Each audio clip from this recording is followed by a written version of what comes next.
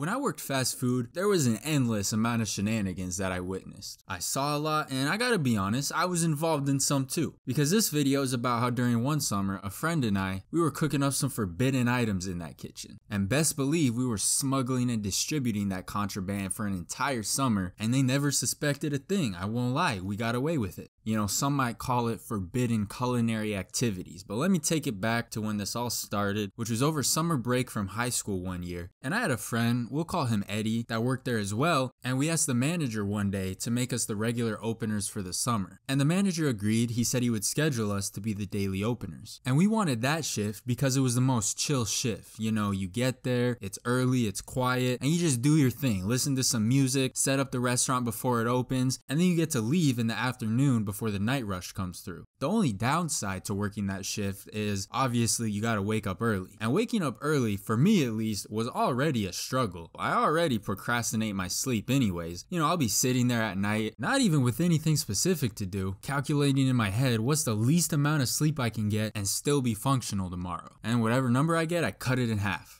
So the shift was at 7 a.m. I can barely stay awake on the drive over, so I'm not taking no extra time to wake up 40 minutes early, cook a hot breakfast, go for a run, do whatever else you guys do at that hour of the day, yoga or something. I mean, I'll just take the sleep. So me and Eddie, we're getting there 7 a.m. every day, and we'd be there walking around, setting stuff up, but with no breakfast in our systems. You know, we haven't had time to eat anything yet. So we start thinking, hey, we literally work in an actual restaurant. What do they got here that we could have for breakfast? Well, nothing really, because they sold like three food items total at that restaurant. Every item on the menu was just different amounts and combinations of the same three things, so there wasn't really much for us to work with. So we start getting creative, right? We realize, hey, before the toast became toast, it was just bread. And it was the really soft, fluffy kind of bread, right? And then also we had this batter mixture you were supposed to dip the chicken in, made of eggs and milk. And we said, hold up, what if we take the bread for the toast, dip it in the batter for the chicken, and throw it on the grill? That's French toast right there.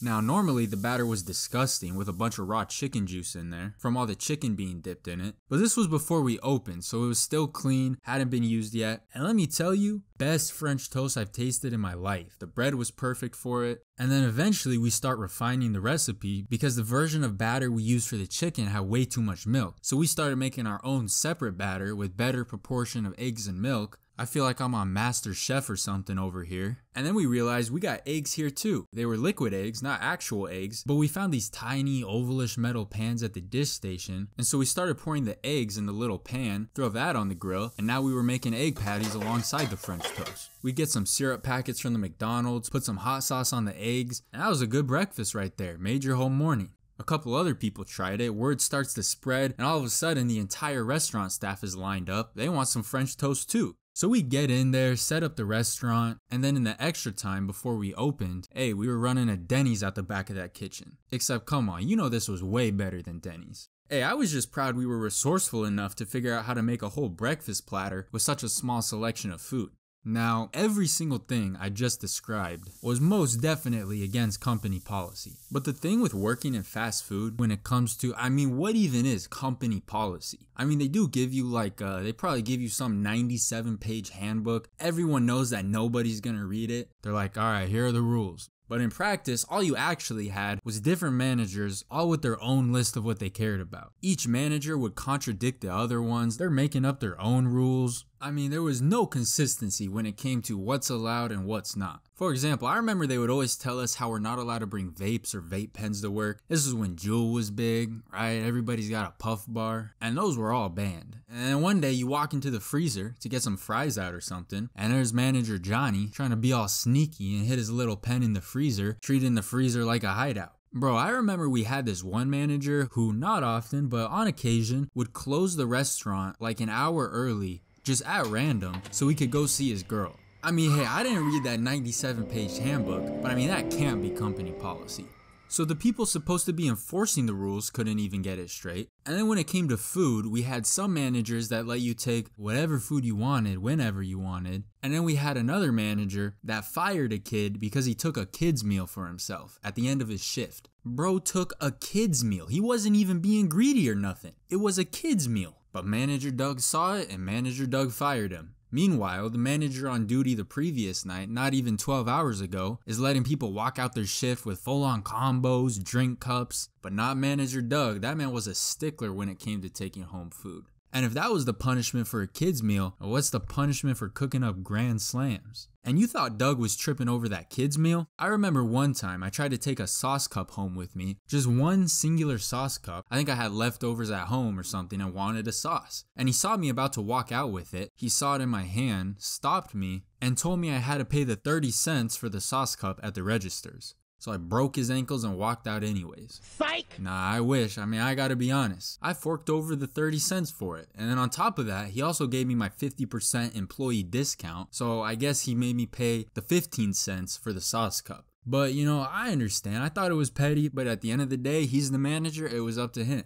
And then ironically too, that guy that got fired for the kids meal also previously got fired from In-N-Out and it was also for stealing food. And then even more ironically, this guy that got fired from multiple places for stealing stuff, I believe that fella now works uh, actually at an accounting firm. So I don't know if he helps people steal money on their taxes now or what. That's wild. My boy went from stealing food on occasion to tax evasion. But anyways, I guess what I'm trying to say is all of the managers had a different idea about what was okay and what wasn't. And the employees, the minimum wage employees, understood this better than anybody. You know, you had three managers, you had to memorize three lists of what each one cared about. If you wanted to walk out with that kids meal, all you had to do was check and make sure Doug wasn't working that day. So we would have managers that would be cool with us chefing it up and some that wouldn't. And we would respect whatever manager was there. If they didn't want us to, we wouldn't. And if they were cool with it, we did. So, you know, there was a lot of blurry gray lines when it came to what was allowed and what wasn't. But one thing I'll tell you is those blurry gray lines got real clear real quick when they sent them inspectors through. Because this company had that, basically like a law enforcement division, but for their fast food rules. And these guys, you could be an assistant manager, general manager, cashier, or cook. Nobody was safe from these guys. They were called OPS or Ops, but you might as well put a C in there because that's basically what they were. And their whole job was basically to make surprise visits to random restaurants around the country. They'd pull up to your restaurant at random, all unannounced, and they would always come through all serious, right? It was always serious. They're wearing windbreakers and stuff. And they basically just watch you while you worked examine every little detail of every little thing, write reports about everything you did wrong, and then give the report to corporate.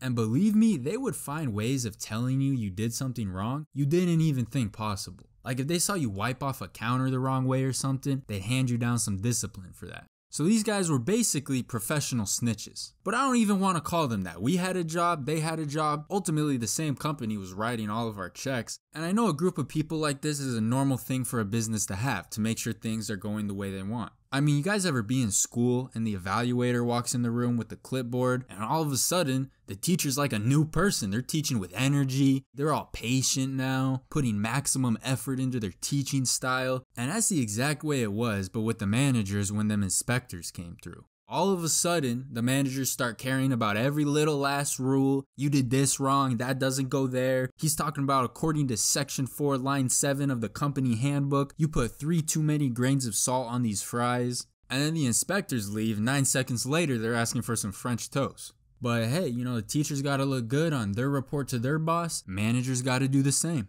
But you know, it created this dynamic between everyone who worked at the restaurant, both the managers and the employees, where the only time they followed certain company policies, even health policies sometimes, was when the ops people were standing right behind them writing a report about it. And I don't know for sure, but I would assume that the managers are all getting bonuses from this as well, if they get good grades on their ops reports. And those ops visits, like I said, were supposed to be random, but a lot of the time the managers could figure out generally when the ops team was gonna show up because they would talk to the managers at the other restaurants in the state to figure out their movements and when they were in town, what restaurant they were at last. It sounds funny, but the managers would talk to each other like that. It was a weird game that was played. I mean, let the managers find out the ops team is coming through, and the switch up was crazy. Yeah, they're all about company policy now when a bonus is attached to it. But those ops guys, I'm telling you, they were serious about every little thing. I knew that if they found out that we were running basically an illegal French toast ring, I know they'd have a heart attack on the spot. I mean, this would be like felony level activity in their eyes. They'd probably use us as a case study for new ops officers or something.